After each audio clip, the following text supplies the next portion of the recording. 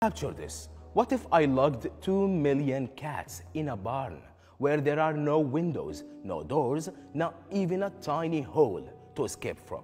Then I brought tons of gasoline to wash those cats with, and with a fiery torch I throw, they will all get burned to death. This will be the most horrible thing has ever been done to cats since their creation. But I do love cats. I will never do this to them.